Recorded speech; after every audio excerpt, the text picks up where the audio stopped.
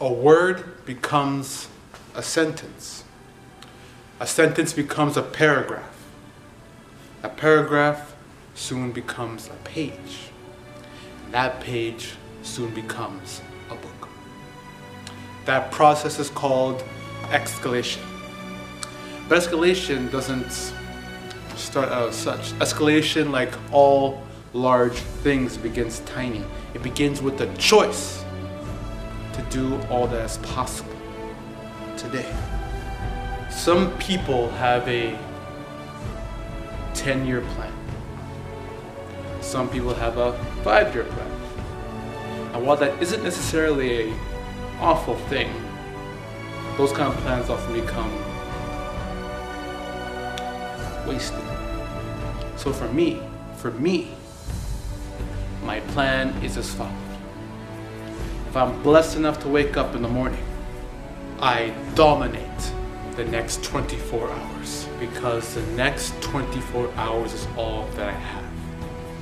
And it's all that's here.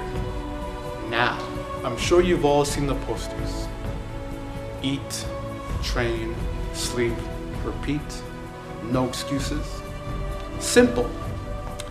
But in a world full of people who love to be complicated, simple it's glorious. We've heard it so many times. Tomorrow isn't promised. But so many of us are caught up in the cliche.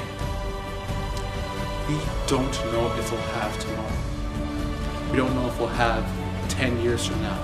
We don't know if we'll have a month from now. Thus, we should not waste for that which we fail to value today may not ever return again. Let me ask you, if someone were writing a book on your life and today was the last page, would the book be a bestseller? Would you be satisfied with the book?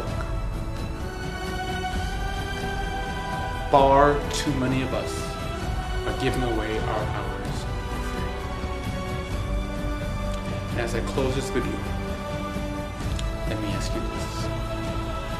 How many of your hours, your precious hours that you will never get back again, are filled with excuses?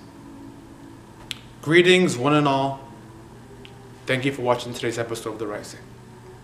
If this video spoke to you, if you enjoyed this message, I ask that you kindly give this video a thumbs up and share it with a friend. Also, read a book today. It'll help and don't waste your hours. My friends, once again, thank you for watching and hope to see you on the next episode of The Rising.